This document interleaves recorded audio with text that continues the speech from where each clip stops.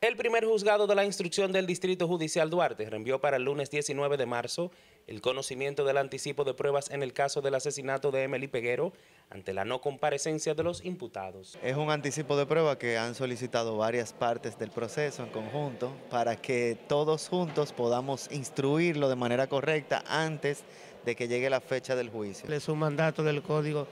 Procesal Penal que tiene que ver con el levantamiento de prueba anticipada. Tanto Marlon como su madre Marlene Martínez y otras dos mujeres, contra quienes pesa impedimento de salida, no fueron conducidas al tribunal, al no haber sido citadas, presentándose solamente Simón Bolívar Ureña el Boli, en calidad de testigo,